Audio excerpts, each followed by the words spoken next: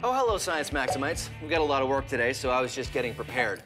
You know, taking something flimsy and making it strong, that's what scientists and engineers do every day. And it's also pretty fun.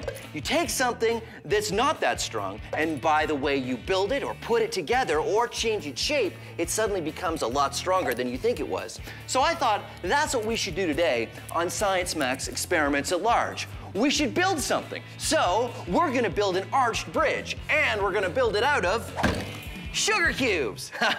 so here's what you need. You need some sugar cubes, you need some sandpaper, and you need some modeling clay. So first, you want to make some abutments out of your modeling clay. What is an abutment, you ask? It is this. They distribute the force laterally from one side or the other. I like to use this this is half a roll of duct tape. And so it fits in just like that. And you see, it's a perfect arch. If you just take sugar cubes and you try to stack them into an arch, it's not going to work because the sugar cubes may not even fit all together and you can see only the bottoms are touching. I take out the guide and it all falls apart. So here's what you do. You take your sandpaper and you change the squares into trapezoids. And you start sanding down your sugar cubes into trapezoids. Basically, you want one small side and one long side. Thin at the top, wide at the bottom, or wide at the top, thin at the bottom. It's a trapezoid no matter which way you hold it. Put it on the bridge and see. And as you go, you will see if you're doing it right, there will be no gaps. And then the most important part is the keystone. That's the one that fits in right at the top, just like that. And when it does, you can take away the guide and it stays up. Isn't that cool? It stays up without any glue, without any mortar, all based on the shape of these sugar cubes. The cool thing is, it'll hold the weight of a whole car, provided you have a very, very small car. The reason why it works is because the weight is distributed along the arch into the abutments and down into the ground. That's what makes an arch bridge so strong. And that's what we're gonna do today. We're gonna max out an arched bridge. So I think I'm gonna need some help though. Uh, maybe Sonia from the Ontario Science Center. She really knows her stuff. Um, yeah, I'll go there and I'll see if she's busy. All right, come on, let's go. The reason why an arch works is because the weight, or the load, of whatever's on top of the bridge is carried outward along the curve of the arch to the abutments at each end, which carry the load and keep the ends of the bridge from spreading out. No matter what you build your bridge out of, sugar or stone, the science stays the same.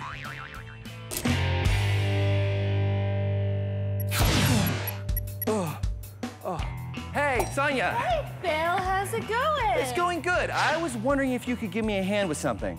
Okay, what's I'm, up? I'm building, um, well, it's actually, it's easier if I show you. All right. Do you mind coming back to Science Max headquarters? We can take the portal. But that thing doesn't always work. Oh, it is fine. Well, I mean, that worked just fine. Uh-oh, it usually makes a beeping when I do, oh, it's out of batteries. Oh, I told myself, Phil, charge the, charge the remote before you leave the lab, and then I...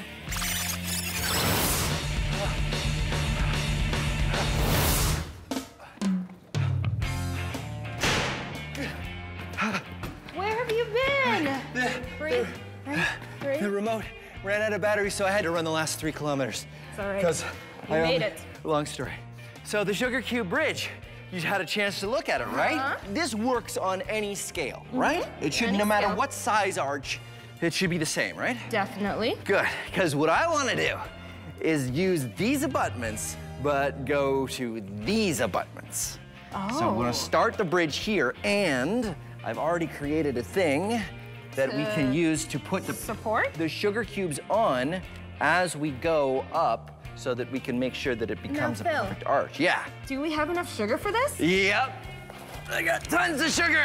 Wow. Yeah. So I think we're gonna need some glue because it's gonna be really hard to get these to stay Yep. to stay, Stay right on. there without a little bit of glue. We're gonna make a giant arch, maybe some walls, and, and we'll see what happens. Let's do it. The Wizard Academy. All you have to do is demonstrate true magic, and you will be granted entry. Send in the next applicant. okay, don't let them see you. Don't let them see you. Okay, magic smoke. And here we go. Big entrance. Behold, it is I, Overwhelmo. You again. I only have to demonstrate magic one time, and you have to let me into the Wizard Academy. And last, last time does not count. So prepare for your mind to be boggled and your eyes to also be boggled because I shall do a trick. I will just get to it. Here is a book. Behold! And now, feast your stupefaction as I produce another book. Ha ha! And then two or three more times, behold, as I put, as I, that's good. Behold! And now, look upon the wonderment as I stack these books on top of each other like this. And now, feast more stupefaction as I, I cleverly move the books off the table. And now, now comes the magic word. Now, I say the magic word. The magic word! And behold, the book is levitating. It is completely off the table. I have done it. Magic. No. No? Not magic, that's science. But the book is levitating. No. Look at it. It's not even touching the table. No, it's being supported by the books below because of the center of mass. Preposterous. I'm afraid it's very posterous. Each book is balanced on the one below in a way that the center of mass is behind the edge of the book below. And the entire stack's center of mass is behind the edge of the table. So it may look like magic, but it's science. So. I can't get into the Wizard Academy? No, I'm afraid not. I, uh, good. Alakazam! You will rue the day that Overwhelmo did not. I will return, and then you will see. Oh, ow. Sonia and I are building a much larger bridge out of sugar cubes. We're using glue to help the sugar cubes stay together, just like stone bridges use mortar. And when we're finished, it was pretty impressive. A massive sugar cube bridge, right? High fives for that.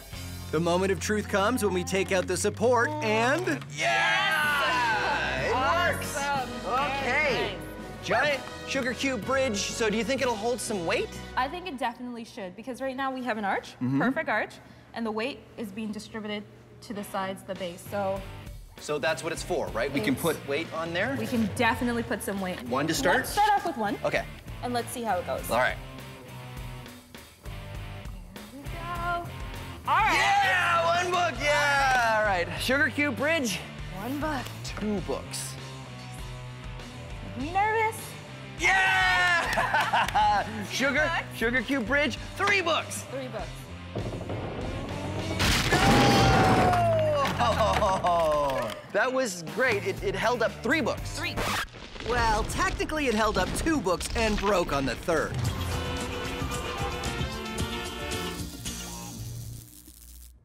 Oh, hey, how you doing? Let me guess, you want to build a strong structure, something that'll stand the test of time. Well, you know you gotta use the right kind of shapes. Look at this, a square. Now, squares have gotta be strong, right? Well, maybe. Maybe if you press straight down on it, but watch as I push to the side. Oh no! The thing that I have built is now collapsing because squares aren't in fact strong after all. If only I had listened to Sal's sage advice. Yeah, squares aren't gonna cut it. Fortunately, there's a shape that's strong in all kinds of ways. A triangle. Okay, so you heard of triangles before, good for you. But look at this. You can push down from the top and it doesn't move, or you can push from the side and it doesn't move. Triangles are awfully pointy. How do I build with them? Observe! Ha ha! Triangle here, triangle there, platform on top. And watch. No matter how I try shift it, it stays solid. And check this out. Triangle here, second triangle there, and a third triangle shape here. That's like three triangles for the price of two, huh? That's a good deal. So there you have it. The triangle. One of the greatest shapes to build with.